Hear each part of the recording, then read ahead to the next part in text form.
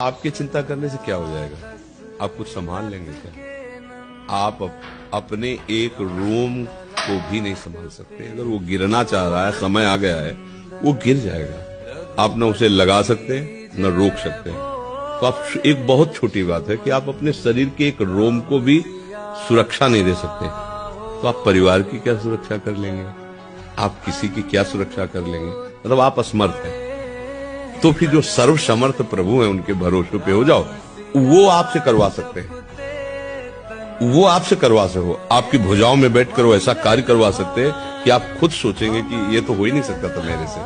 उनकी आवश्यकता जो भी अपना है, चाहे रिश्ता हो, चाहे वस्तु हो, चाहे संपत्ति हो, चाहे शरीर हो, वो प्रभु को समर्पित भावना से करो नाथ सकल संपदा तुम्हारी, मैं सेवक समेत सुतनारी हे प्रभु, अब आप जानो। आप देखो। आपके चिंता